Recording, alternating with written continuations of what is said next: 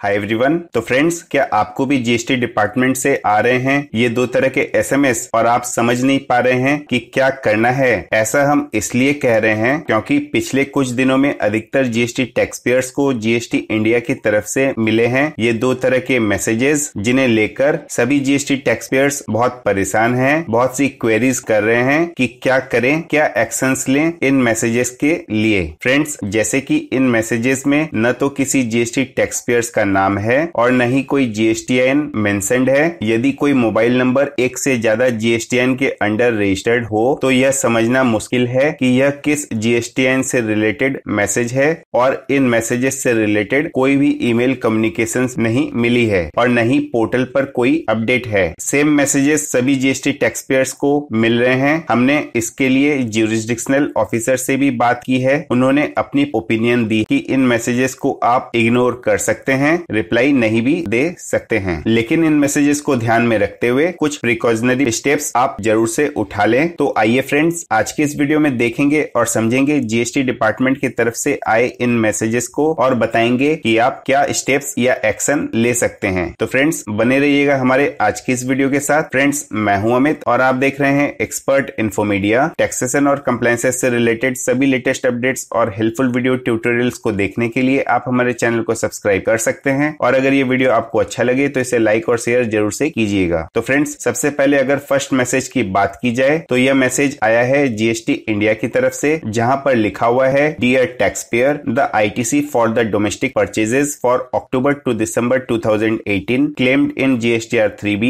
exceeds rupees 1 lakh when compared with the credit available in GSTR 2A यानी कि अक्टूबर से दिसंबर 2018 के लिए फ़ाइल किए गए GSTR 3B में आपके द्वारा जो आईटीसी क्लेम किया गया है। उसे अगर जीएसटीआर टू ए से कंपेयर किया जाए तो वह एक लाख रुपए से अधिक का है। फ्रेंड्स आप जीएसटीआर थ्री बी में अपनी परचेजेस पर आईटीसी को क्लेम करते हैं और जब आपकी परचेजेस से रिलेटेड आपके सप्लायर के द्वारा जीएसटीआर वन फ़ाइल किया जाता है तो वह शो होता है आपके जीएसटीआर टू ए में। और जब आपके जीएसटीआर टू ए में शो हो रहा आईटीसी का अमाउंट नहीं मैच होता है आपके द्वारा क्लेम किए गए जीएसटीआर थ्री बी में आईटीसी के अमाउंट के साथ तो इससे रिलेटेड यह मिसमैच का मैसेज आ रहा है। इसके लिए आप ये कुछ स्टेप्स उठा सकते हैं। फ्रेंड्स सबसे पहले अगर यह मिस्टेक आपकी अपनी तरफ़ से हुई है तो आप चेक करें कि कोई परचेज के आईटीसी को आपने अपने जीएसटीआर थ्री बी में शो किया है या नहीं। कहीं वह मिस तो नहीं हो गया है, या फिर गलत अमाउंट तो शो नहीं किया गया है। अगर ऐसा है तो इससे रिलेटेड मिस्टेक्स को आप नेक्स्ट जीएसटीआर थ्री बी में फाइलिंग के दौरान ठीक कर लें। सेकेंड अगर यह मिस्टेक आपके सप्लायर की तरफ़ से हुई है तो आप चेक करें कि आपके द्वारा जो परचेज की गई है, उससे रिलेटेड आईटीसी का अमाउंट जीएसटीआर टू ए में शो हो रहा है या नहीं? अगर वह शो नहीं हो रहा है तो इसका मतलब आपके सप्लायर ने आपको की गई सप्लाई से रिलेटेड डिटेल्स उनके जीएसटीआर वन में शो नहीं की है, या फिर आपको की गई सप्लाई किसी दूसरे जीएसटी जीएसटीएन में शो कर दी गई है आपके सप्लायर के द्वारा। तो ऐसे में आप अपने सप्लायर को इंसिस्ट करें, उससे फॉलोअप करें कि वह अपने जीएसटीआर वन को पेमेंट करके आपको की गई सप्लाई से रिलेटेड टैक्स इनवॉइस को प्रॉपरली शो करे, जिससे कि आईटीसी का अमाउंट आपके जीएसटीआर टू ए में करेक्टली रिफ्लेक्ट करे और यह मिसमैच खत्म हो जाए। फ्रेंड्स इसके बाद अगर सेकेंड मैसेज की बात करें तो यह मैसेज भी आया है जीएसटी इंडिया की तरफ़ से, जहाँ पर लिखा हुआ है dear tax payer you have under reported tax liability in GSTR three B as compare to GSTR one by more than one lakh for October to December two thousand eighteen please take corrective action यानी कि आपके द्वारा अक्टूबर से दिसंबर 2018 के लिए file किए गए GSTR three में सेल्स और टैक्स की लाइबिलिटी शो की है। उसका अमाउंट इसी पीरियड के लिए आपके द्वारा फ़ाइल किए गए जीएसटीआर वन में आउटवर्ड सप्लाई और टैक्स लाइबिलिटी के अमाउंट के साथ मैच नहीं हो रहा है और एक लाख रुपए से कम की टैक्स लाइबिलिटी अंडर रिपोर्ट यानी कि शॉर्ट रिपोर्ट की गई है, जिससे रिलेटेड आपको करेक्टिव एक्शन लेने के लिए कहा जा रहा है। तो फ्रेंड्स इस मैसेज से रिलेटेड ये कुछ प्रिकॉशनरी स्टेप्स आप ले सकते हैं। सबसे पहले आप चेक करें कि आपने अक्टूबर टू दिसंबर 2018 के लिए किसी आउटवर्ड सप्लाई या फिर सेल के अमाउंट को